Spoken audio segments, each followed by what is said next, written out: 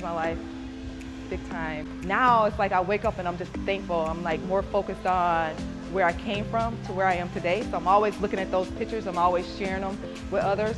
And I think the biggest part of the gratitude that oozes from out of my soul right now is that it is inspiring so many people.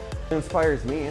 I mean, when I'm 50, I hope to still be, you know, training just as hard and maybe still competing, you know, just like her. She has watched her body transform.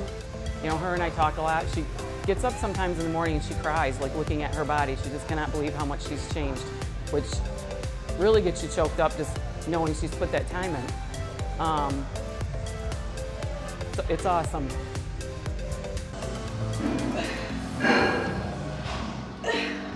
I was a big girl. I was unhealthy.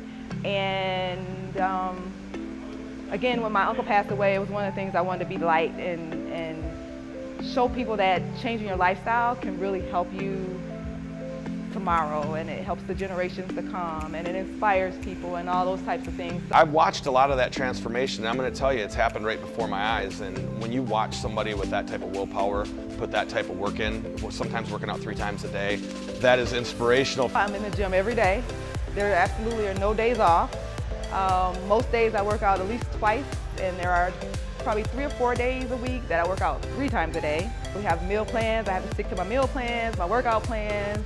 She had a goal to lose weight and tighten up and eventually get on stage and do a show and she has worked very diligently to get to that point. It's called the Ironman. Um, it's going to be held at Flushing High School on August 24th. I did tell you about my uncle who passed away and, um, and he was like the picture of health. And like I said, he had a, he had a blood disorder and um, he always challenged himself. And he always challenged us nieces and nephews, like be your best self, you know. And so when I started the Crim, it was in his memory. And I just kept that going. And so this, this challenge is in his memory. So, August 24th, I'm gonna be a ball of nerves. But it's not gonna be the way, I'm not anticipating and being nervous because I'm there and it's the big stage, but because I'm there and I'm representing him. And, um, and I can hear him saying, you know, you got this, T. So yeah, it's, it's gonna mean a lot. And to have my family there and, and friends and those that can attend, it's, yeah, it's gonna be great.